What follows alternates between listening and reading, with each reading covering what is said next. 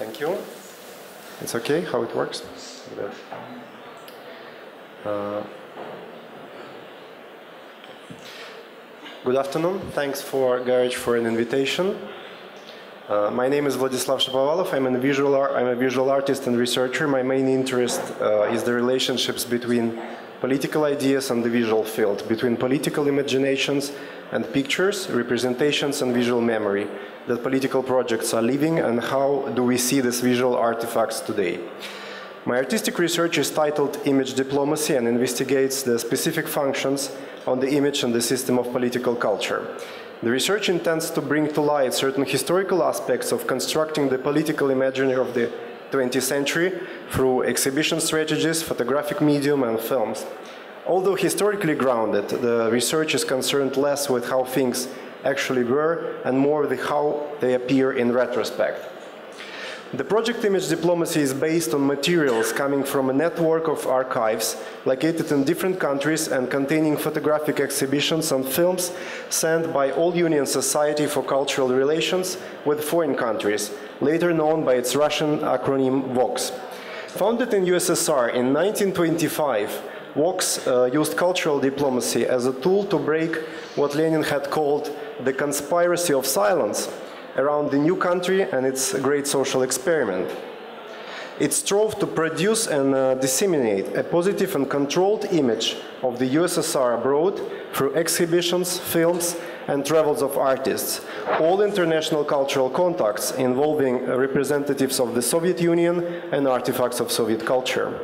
The Soviet exhibition complex operated through networks of influence built up by friendship societies founded in various countries by people sympathetic towards the Soviet experiment.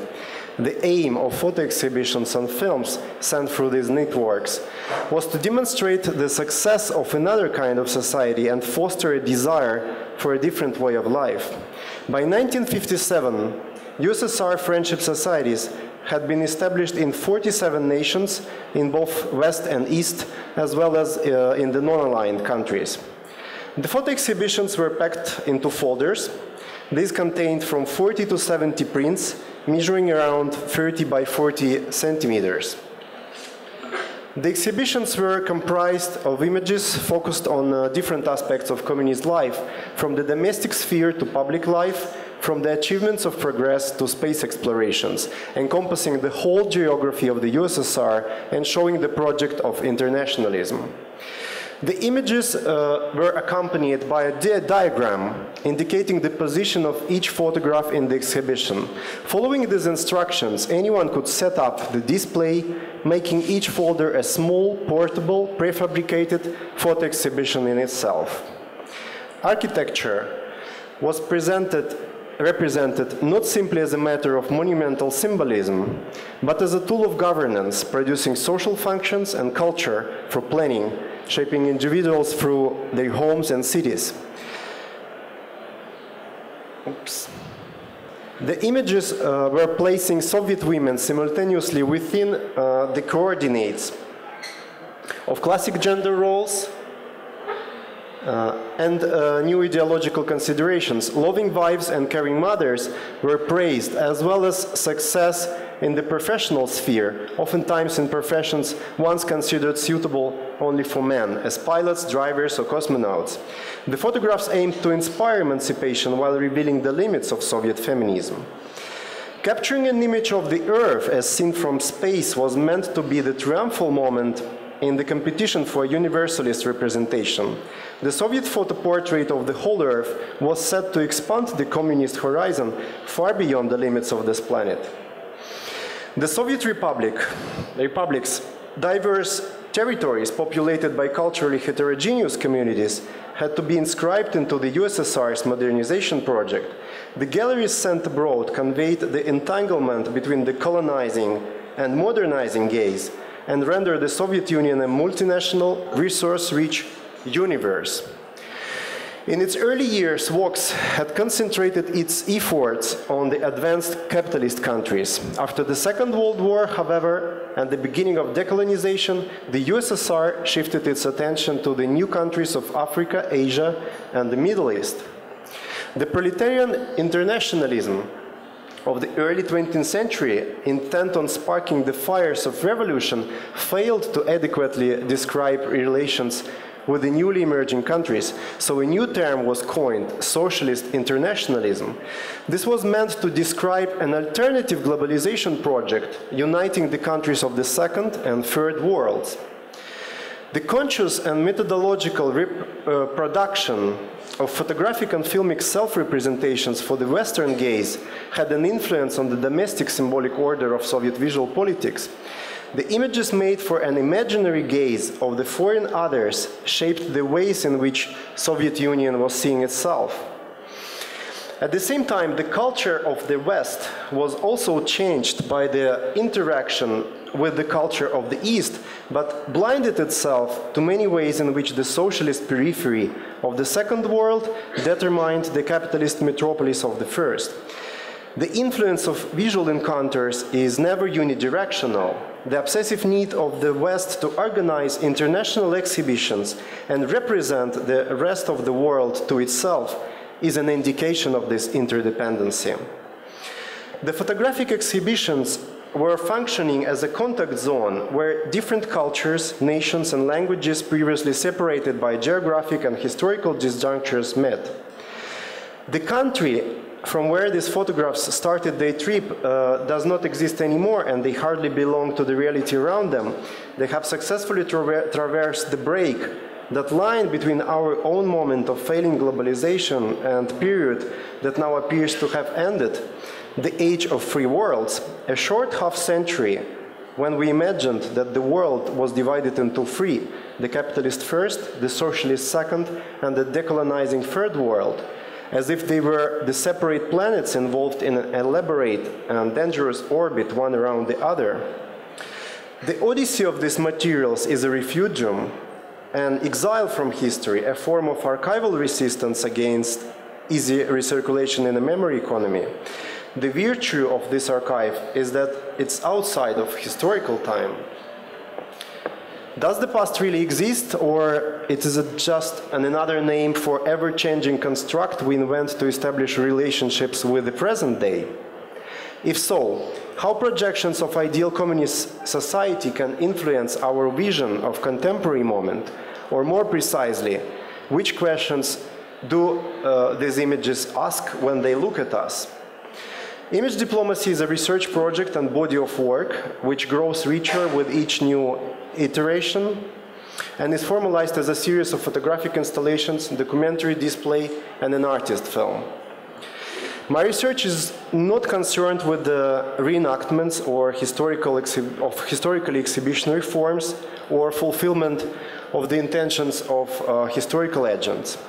I'm interested in a critical rereading of the images, forms, and media which are the reflections or representations of political ideas, and at the same time, which are the tools that help to formulate these ideas. Being included into the system of political culture, the images become a precondition, a premise, an instrument, and at the same time, the outcome of the product of the political process. By putting the words medium and exhibition close to each other, I'm not only trying to align exhibition to the idea of medium, in this sense generally understood when speaking about mass media, but I'm trying to stimulate the recognition of an exhibition as a fundamental unit, an act of providing something for public visual consumption as a fundamental practice of art and in general of the development of our increasingly visual universe based on predominant Western assumption that seeing is believing.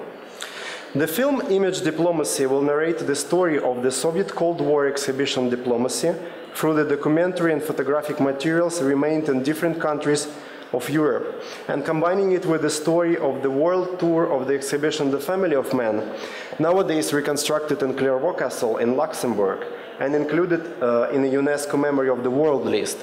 On footnote, uh, the, the, filming took place in Milan, Bologna, and in uh, Luxembourg.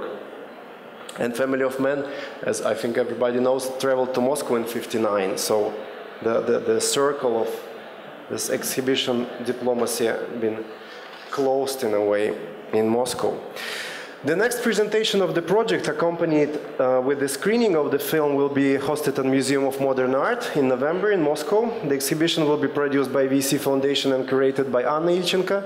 The presentation of image diplomacy uh, in Italy will open in December at Arge Kunst Bolzano at the exhibition curated by Emanuele Guidi.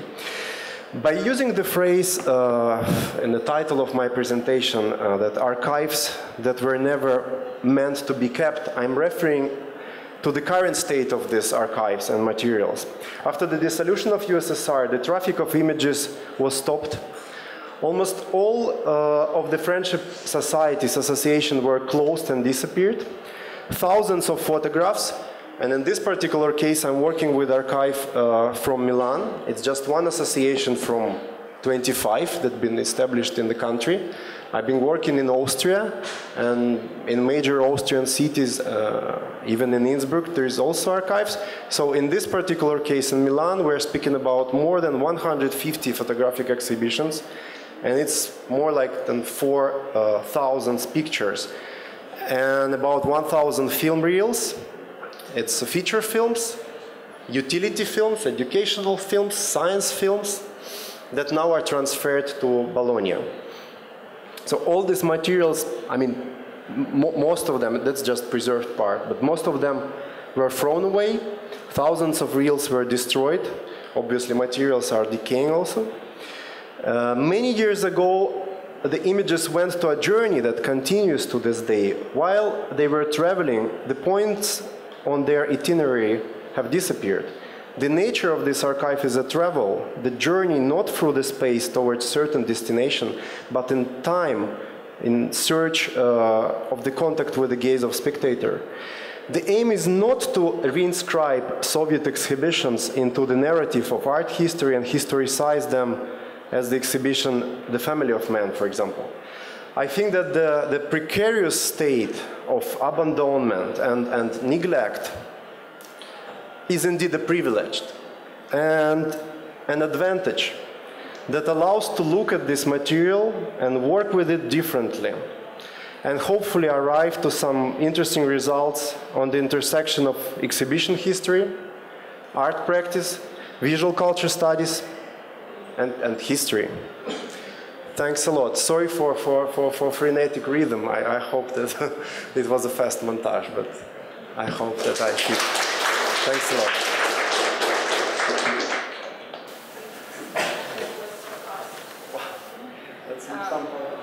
Yeah, if you have questions right now, because uh, Vladislav will so fast, uh, was so fast, maybe somebody has a question already. So maybe we can speak more. Oh, there is one question, so.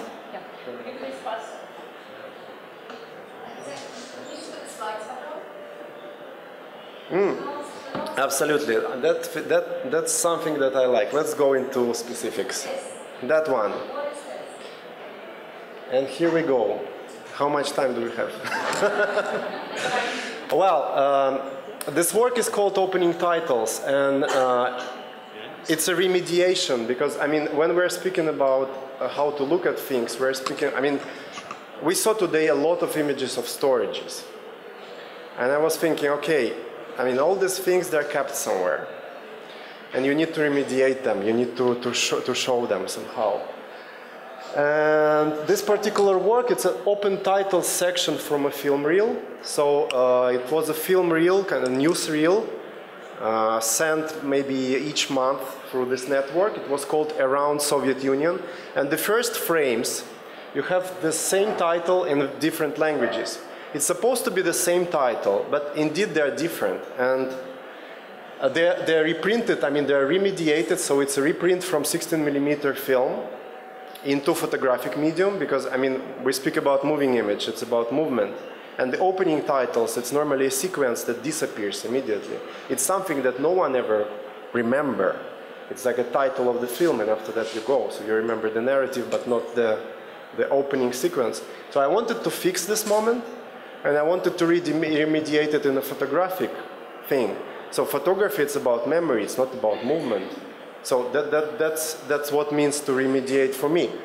And this particular frame, because after that I started to think, okay, I mean, apart, apart of the fact that design apart of the fact that the title indeed is different in each of the frames, and apart of the fact that design is different, so when they work with the German font, they trying to make it German. That's why I'm speaking about imaginary gaze of a Western spectator, because no one in 58, for example, had any idea. So French becomes playful. Spanish becomes uh, eclectic. German should be German.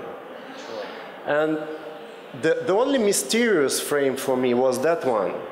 And I contacted friends of mine in, in Amman and I asked them actually what, what is written there. And they told me that the problem is that there is no concept of union in Arabic political thought. So Soviet Union is a kind of meaningless thing. So basically what is written here? Here is written that uh, in the lands, in the Soviet lands, because as we say Arabic countries, they would never use Soviet Union, they would say Soviet lands. That was the way to recollect Soviet Union as a union of republics again, to kind of to grasp this political idea. And that's how it was rendered into the visual media that the, the, the image that just disappears immediately. It's an opening sequence of, of a film. I hope that, thanks a lot.